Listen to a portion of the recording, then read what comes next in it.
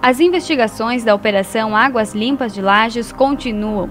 Integrantes do GAECO estão em Florianópolis, onde entregam o um inquérito ao Tribunal de Justiça de Santa Catarina.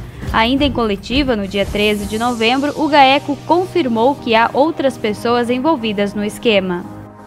A Procuradoria-Geral de Justiça que está analisando em conjunto esse procedimento para saber de eventual envolvimento de eventuais pessoas que tenham foro privilegiado. Segundo as últimas informações, o prefeito Eliseu Matos estaria diretamente ligado ao esquema de corrupção envolvendo a Semasa.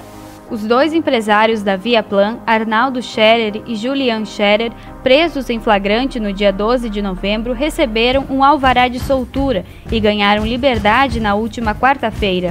Já o ex-secretário da Semasa, Wilson Rodrigues, preso desde o dia 13 de novembro, foi transferido do presídio regional para o presídio masculino no bairro Santa Clara, onde o motorista do prefeito Eliseu Matos, Antônio Carlos Simas, também continua detido.